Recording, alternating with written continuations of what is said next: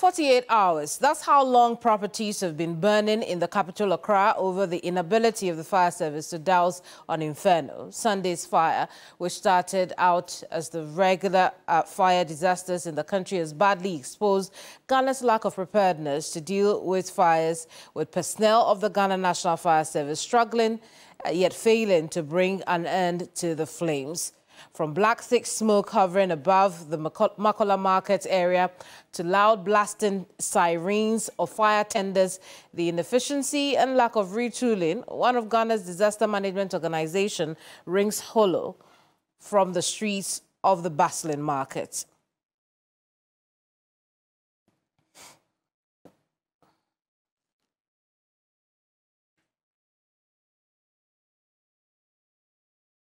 Let's get you the very latest from Zongo Lane in Makola Markets. Uh, George Queening is our reporter on the ground. Uh, George, uh, good afternoon to you. Uh, listen, tell us what's happening. What do you see? What's going on?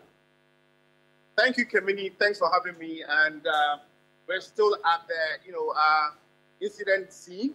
And it's been more than 48 hours, and the fire service is still, you know, struggling to really doubt this very fire. But what personnel are waiting is the fact that they want their seniors to reassess the situation and come up with a line of action. And so that is what currently is ongoing. And so traders are also, you know, scattered around, waiting to see if they can salvage some of their wares that have been, you know, uh, being in the building coming in. Mm, I see. George, when you look at, you know, where this fire began up until today, what are the traders saying about how it's never going out?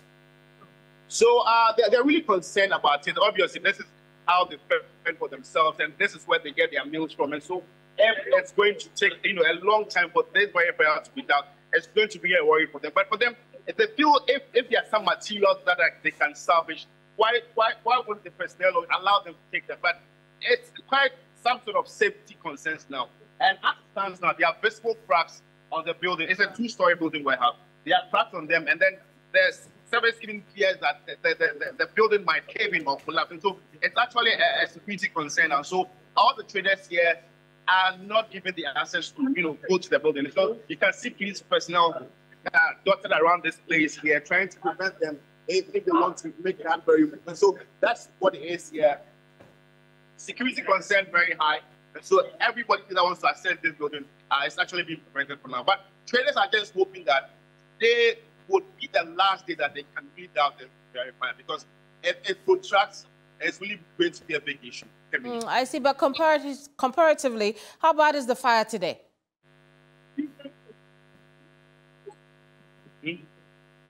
Well, I'm, I'm asking how bad the fire is today. Kemini, as it stands now, you can only just see smoke below it. But you can actually also see that there's some sort of fire in there. But now, personnel here are just waiting for their seniors to come and assess because the very operation that they used yesterday would have to be different from today. So if the seniors come and reassess the, the situation, that's when they will just adopt the next line of action, whether they're going to fight it from the backward or they're going to pay safe efforts. That's what we they are waiting for from their seniors to re reassess the, the situation. I want to just take you uh, around around here. Yeah. So me, I just want to take you around this place. So this is how you know, the situation is right now. You can see the smoke billowing from the building. And I don't know if you can see the visible cracks here. So that is what it is now. Some of the personnel here are waiting their seniors to come to the scene. But that is it. It's a two-story building. And the smoke is still billowing. And traders are actually hoping that it will be doused today. And uh, they are also fire attendant here. I'm told that the mm. enforcement and so that there's some traders here, you can see them. And so, and these are the owners of the building. The Chinese woman here and the man, these are the owners of the building. Okay, so this is what the scene looks like, the situation report here. And that's the building, the visible cracks here as well. Mm. So that's it. Can I talk to you? Oh, so can we let's talk to the owner of the building? So the Accra Metropolitan. So, can I talk to you, please? Very well. Uh, Judge. Since that this very land was illegally acquired, and then after this situation has been controlled, you will be prosecuted. I know this has been. Yes, that, that's the concern because so what do you say to things like? So, what do you say to concerns like? Me, me no understand, no English. No English. Yes, so. But also, how do you take this very incident? How, as, as the owner of this very building, how do you take this this this incident? No understand. You don't understand. Kemi, like she said, she doesn't understand. English. But uh, the consensus from the AMA is that uh, there was some sort of illegalities surrounding this acquisition of this land. And so after everything has been, you know, settled, they'll try and then prosecute these owners. And so that is what the AMA is also saying regarding this very incident. Like I rightly mentioned, traders are waiting for this to be doused, and maybe life will actually bounce back to normal. Mm. George, we'll leave it here. Thank you so much. Now, the Makola Zongo Lane uh, inferno is not the only one we've seen in this country or in the capital city. About 50 fire outbreaks have been recorded in less than a week in the country. And uh, Accra and Kasoa have recorded the most fires, destroying properties running into millions of Ghana cedis. Residential apartments, markets and shops have all been affected. It was a Herculean task for personnel from the Ghana National Fire Service to contain most of the inferno within a minimum time frame because equipment deployed to the fire scenes were obsolete, virtually rendering the service uh, and the servicemen ineffective.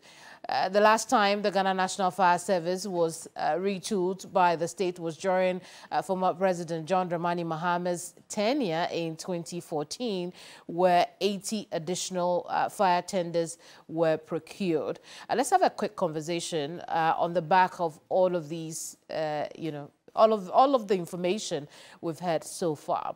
Uh, with me in the studio is Alex King Nartey, who speaks for the Ghana National Fire Service, uh, ADO1.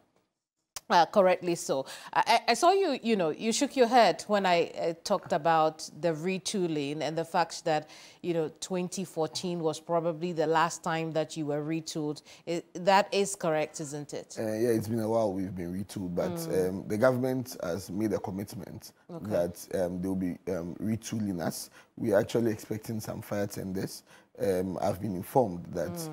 Uh, plans are far advanced for retooling. So we are hoping that it will come soon, and we believe that it will be coming very we soon. We look forward to that. But what could be causing the many fires we are seeing, especially in Accra?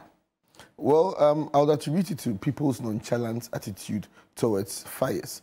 Um, at the Makola area, for instance, we have an active fire station with an, a vibrant fire safety team that go around to educate. But the, some of the things they tell us is very unfortunate. They go and some of these fire, fire um, market women will tell them, don't disturb me. I've not sold anything. I'm not mm -hmm. ready for anything. And they, it's as if they feel fires are far away from them. Also, the fact that people are failing to draw a fine balance between their safety and their security.